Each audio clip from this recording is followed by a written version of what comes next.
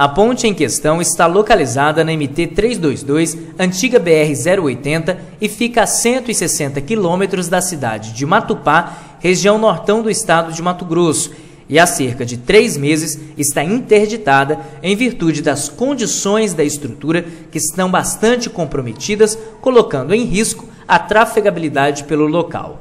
Com a interdição da estrutura, um desvio foi feito na rodovia estadual para não bloquear o tráfego no local. Porém, a situação, segundo produtores, era temporária até o conserto da estrutura comprometida. Segundo moradores próximos da área, 90 dias já se passaram e nada foi feito para resolver a questão. O temor do setor produtivo é o período chuvoso, que se aproxima e pode deixar a região isolada, uma vez que eles acreditam que o desvio não irá suportar o aumento do nível do rio e a sua vazão.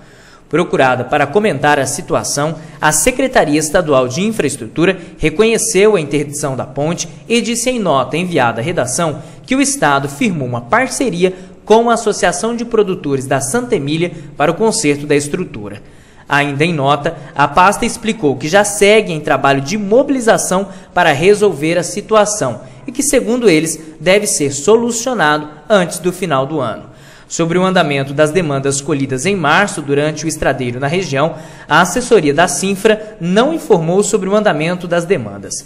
No primeiro semestre de 2015, em março, uma comitiva formada pelo secretário de Estado de Infraestrutura, Marcelo Duarte, o deputado estadual Baiano Filho, prefeito e lideranças do Araguaia percorreram o trecho e, na época, se comprometeram a analisar a situação e apontar soluções para as demandas colhidas. Porém, até o momento, não houve avanço nessas questões.